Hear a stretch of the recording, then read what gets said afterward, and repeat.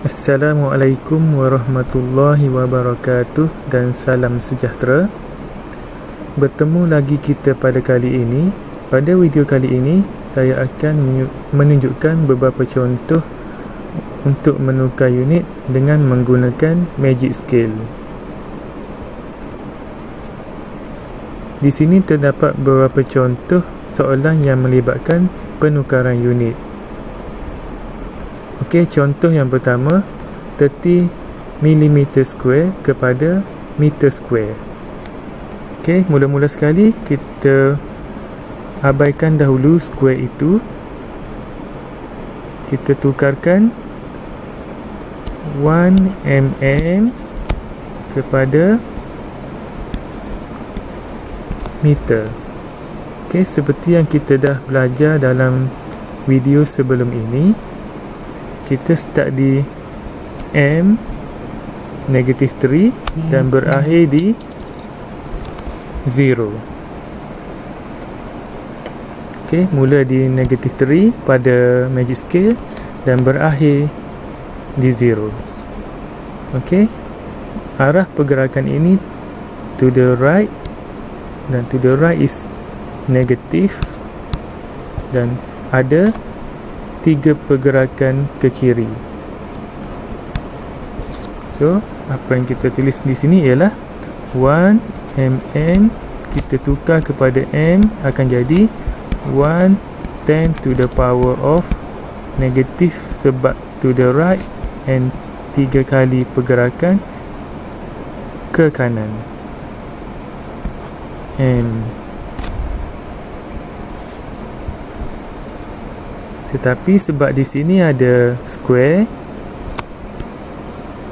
Jadi kita squarekan ni. So kita akan dapat 1 10 to the power of negative 6 m square. Jadi last kali Jawapannya ialah Kita darat balik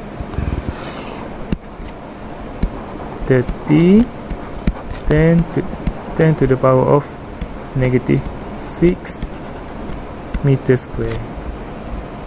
Kalau kita tengok nombor ini bukan dalam bentuk prefix jadi kita kena tukarkan dia dalam bentuk prefix.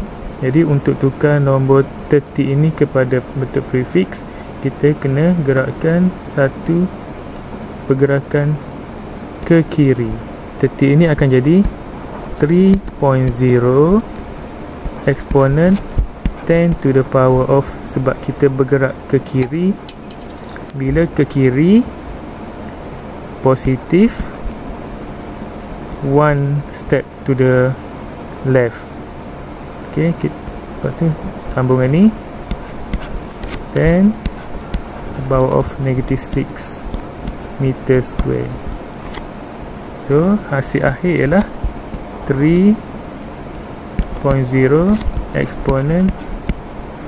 Okay Positif 1 Plus dengan negatif 6 So akan jadi Negatif 5 Meter square. So itulah jawapannya. Okay Bagi contoh yang kedua Macam mana untuk menukarkan 2.4 10 to the power of negative 5 sentimeter cube kepada meter cube. Okey, ini adalah unit bagi volume berdasarkan unitnya ialah meter cube. Okey, seperti biasa kita tulis nombor uh, unit asal dia dahulu iaitu 1 cm kita convert to the meter. Ok daripada magic scale kita tandakan C ialah negatif 2 dan M ini tidak ada huruf jadi dia berakhir di kosong.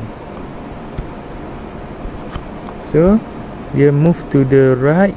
So to the right is negative and ada two movement to the right. So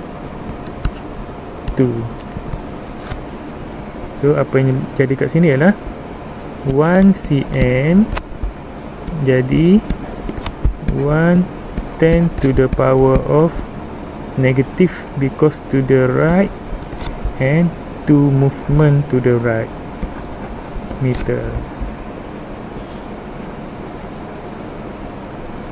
Ok disebabkan kita nak cube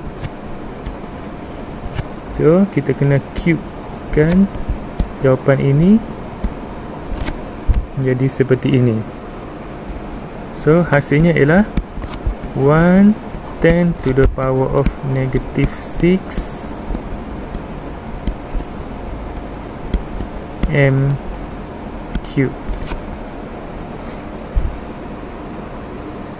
Ok dan last kali kita kena masukkan nombor asal dia di situ. So hasil akhirnya ialah 2.4 10 to the power of negative 5 times dengan 10 to the power of negative 6 meter cube ok kita permudahkan dia. Susun balik. So 2.4 10 to the power of negative 5 kita plus dengan negative 6 so jadi negative 11 meter cube. So itulah jawapannya. Ok kita teruskan ke soalan yang ketiga iaitu bagaimana untuk menukarkan 300 gram per centimeter cube kepada kilogram per meter cube.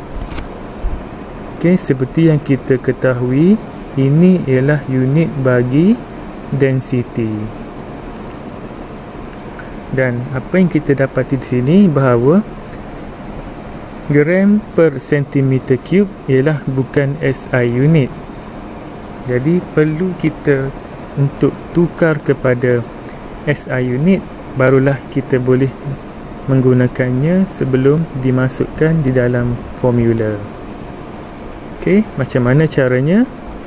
Caranya ialah kita susun dahulu bentuk yang asal dia yang ini menjadi bentuk yang sebenarnya iaitu 300 gram per centimeter cube. Ok kita dapati bahawa di sini gram ialah bukan SI unit dan sentimeter pun bukan SI unit jadi kita perlu untuk menukarkan kedua-dua unit ini kepada unit SI iaitu gram kepada kilogram dan sentimeter kepada meter. Caranya sama seperti yang kita dah buat sebelum-sebelum ini iaitu okey kita tukarkan gram kepada kilogram. Okey, gram kepada kilogram. Okey. Gram tak ada huruf di depannya ataupun simbol di depannya jadi kosong dan kita pergi ke K. So pada magic scale ini kita tandakan kosong dan pergi ke K. K is positive 3. So, pergerak, arah pergerakannya ialah to the right. Jadi to the right is negative dan ada tiga pergerakan to the right. So, apa yang jadi ialah 1 10 to the power of negative because to the right and 3 because ada 3 movement to the right. Ok jadi kita dah tukarkan gram kepada kilogram. Seterusnya kita tukarkan pula sentimeter kepada meter. Ok sama juga C ialah senti senti if negative 2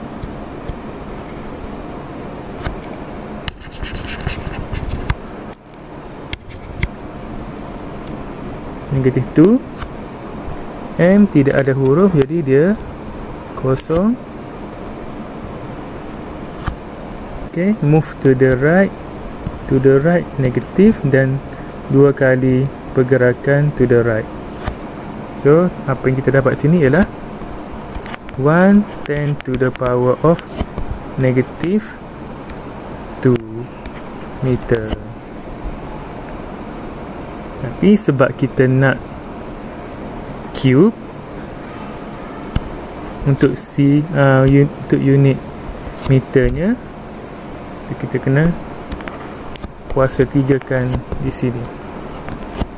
So hasilnya ialah 1 10 to the power of negative 6 meter cube.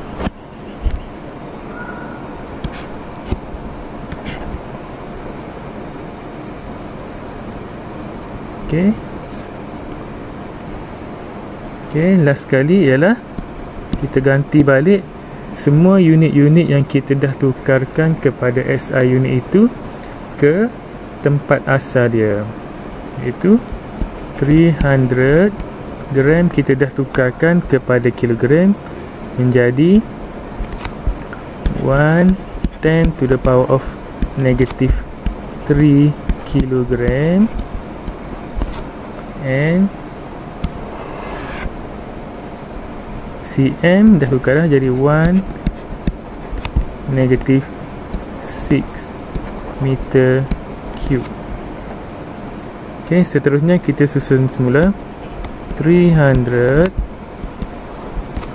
1 10 to the power of negative 3 kilogram. Yang ni kita bawa pergi atas. Jadi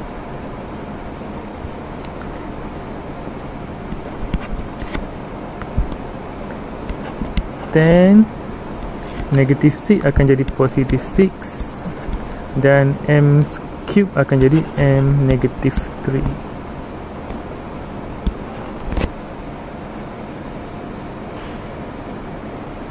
ok kita susun.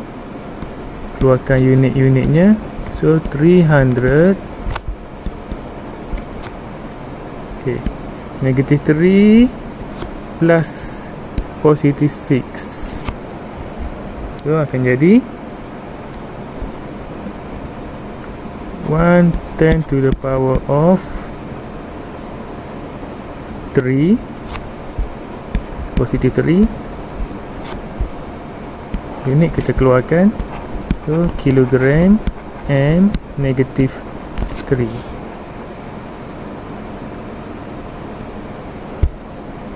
Okay kita susun lagi. So 300 10 to the power of positive 3 kilogram M per M cube So itulah jawapannya. Tetapi jawapan ini bukan dalam bentuk prefix. Untuk nak guna dah boleh. Sebab dah jawapannya sudah di dalam SI unit tetapi kalau kita nak bagi cantik lagi kita tukarkan 300 ini kepada bentuk prefix. So jadi apa yang jadi ialah tu beratkan ke kiri dua titik perpuluhan. Tu apa yang jadi adalah 300 ini akan jadi 3.0 exponent. Sebab kita move to the left left if positive dan dua pergerakan to the left positive 2 ok kita times dengan 10 power of positive 3 kilogram M negatif 3 ok susun balik yang ni. Jadi 3.0 10 to the power of positif 2 plus positif 3 so yang jadi adalah positif 5 kilogram m per meter cube. Ok ok inilah jawapan yang betul-betul dalam bentuk prefix. Yang terakhir ialah bagaimana untuk menukarkan 865 meter per hour to meter per second okay. seperti yang kita ketahui ini ialah unit bagi velocity dan unit SI bagi velocity ialah meter per second jadi kita terpaksa menukarkan unit dahulu bagi velocity ini barulah kita boleh menggunakan dalam mana-mana formula. Ok seperti biasa kita susun dahulu bentuk ini kepada bentuk yang asalnya iaitu 865 meter per hour. Jadi kalau kita tengok kat sini terdapat dua unit iaitu meter dan hour.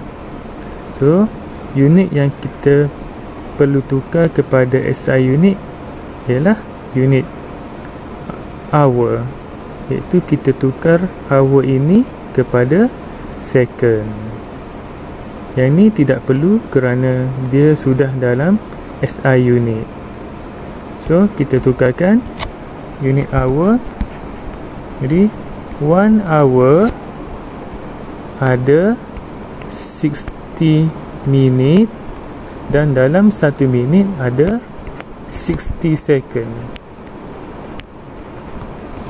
Dan jawapannya adalah 3600 second. Jadi seterusnya ialah kita ganti balik di tempat unit hours.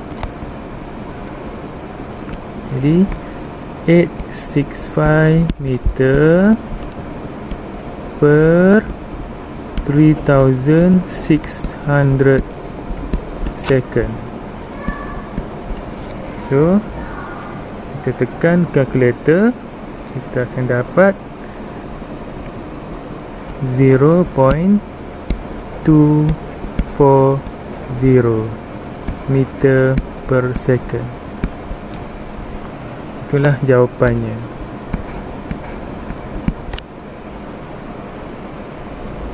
Ok kesimpulan kita pada video pada kali ini ialah kita belajar untuk menukarkan apa-apa unit kepada SI unit dengan menggunakan magic scale Okey, sekian terima kasih. Semoga kita berjumpa di video yang akan datang.